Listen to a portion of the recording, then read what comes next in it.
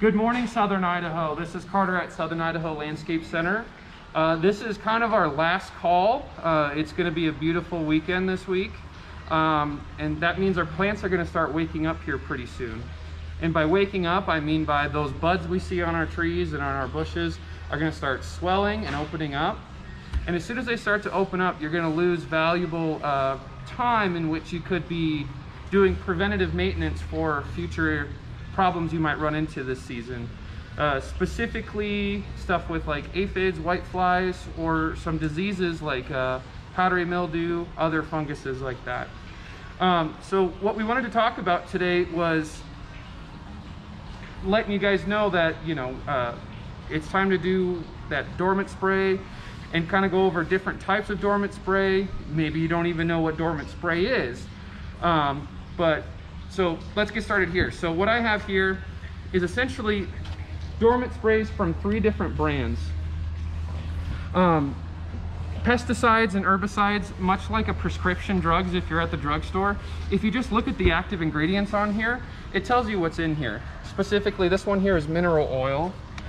And if you look at these other two, mineral oil is the main ingredient in them as well. It's, it's essentially the same product, it's just from different manufacturers and different ways in which you can apply. Um, so if you just have just maybe one or two plants that aren't very big, you know, something that's already mixed, you can just easily spray with. Something like this works really well. Say you have a couple fruit trees or a couple rose bushes, where spraying like this is gonna kill your wrist that's why we have things like uh, a ready to spray formula. Both of these here, you can just hook up a hose to the end here, and then you actually have a nozzle you can adjust to go ahead and spray. And then for those of us that have a lot of trees or a lot of roses or a lot of room to cover, we have concentrated um, concentrates here, which you can mix into a sprayer and then you can apply and it goes much, much longer. Usually the, uh, the rates for dilution on these concentrated ones here, they'll usually just give it to you right here on the label. Most of the time it's about two tablespoons per gallon, but um, it's always best just to follow what the label tells you, of course. Um, neem oil, I'm sure many of us with house plants might be very familiar with neem oil already. Um, neem oil, in fact, if you have some around, it can be used as a dormant spray as well.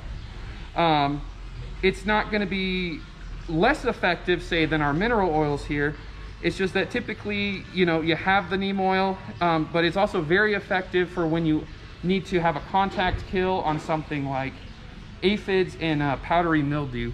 Specifically, neem oil is really, really good for powdery mildew, really, really good for uh, aphids. Um, typically, I would opt out for this first and then come back to something like this. Um, the reason why we use oils the idea is if there's anything overwintering on our plants, say insects or fungus, you're going to be covering it on the on the plant and it suffocates it, um, preventing preventing um, them to reform and uh, wake back up as soon as the season gets open. So moving on from preventative maintenance, um, we're going to move over here to um, our fungicides, our copper and our sulfur here. And what these are specifically for is if you know you had a specific problem with either um, downy mildew or other types of really bad fungus on your fruit trees, on your roses, on your shrubs. Um, typically, I, I recommend stuff like this for folks if they know for sure they had an issue last year and they want to get on top of it this year. Um, now is the time to go ahead and get on top of that. Um, so if you folks have any other questions that I might have left out on here or you want to learn more, um, feel free to drop down in the comments, ask a question. We'll get back to you as soon as we can, or you can always just stop in. Um, right now we are in our spring hours. We are open 8 o'clock to 5 o'clock Monday through Friday. And Saturdays we are going to be open from 9 a.m. to 4 p.m. Thanks.